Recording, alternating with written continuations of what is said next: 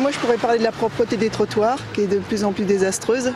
Bah, allez-y, vous pouvez nous en dire plus à ce sujet-là? Euh, bah, à propos des propriétaires de chiens, qui laissent euh, leurs animaux faire partout, et donc c'est désastreux.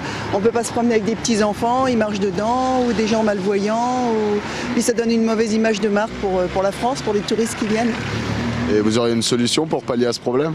Euh, oui, mettre des amendes plus sévères, qu'il y ait plus de contrôle, puis responsabiliser les propriétaires de chiens.